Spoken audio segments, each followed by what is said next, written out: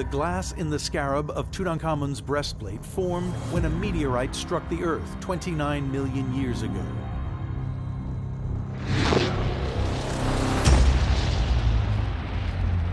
But this theory has one enormous hole in it.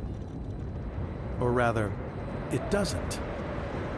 A meteorite with enough energy to turn sand into glass would have left an impact crater of about 20 miles in diameter. The problem is, nobody can find the crater. Unfortunately, you probably couldn't pick a worse place to look. A desert system is dynamic. It constantly keeps retracing itself. You imagine walking up a sand dune and coming back two days later, the wind will have erased your footprints.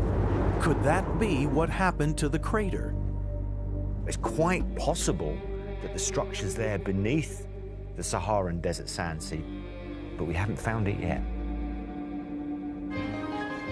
The ancient Egyptians may not have grasped the astonishing extraterrestrial origins of the scarab, but they clearly knew they had something very, very special.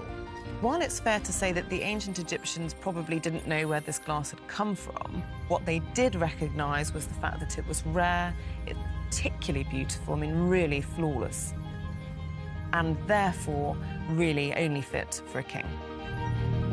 This perfect piece of glass, created by a meteorite, is literally out of this world.